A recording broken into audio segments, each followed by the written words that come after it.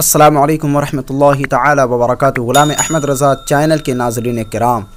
آج آپ کے سامنے ایک ایسی اور دو ایسی ویڈیوز دکھاؤں گا، جسے دیکھ کر کے آپ یقیناً خوش ہو جائیں گے۔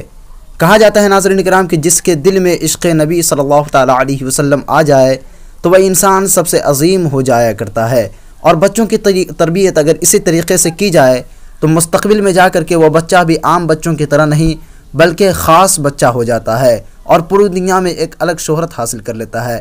آج کے اس ویڈیو میں دو ایسے لڑکوں کی ویڈیوز میں دکھاؤں گا، جس میں ایک بچہ جو قرآن کی آیت کے ذریعے نبی کریم صلی اللہ تعالیٰ علیہ وسلم کے اجسام مبارک کے جو ذکر قرآن مجید میں آئے ہیں، ان کو بیان کرتے ہوئے بہت ہی حیرت زدہ انداز میں اور بہت ہی خوشکن انداز میں بیان کر رہے ہیں۔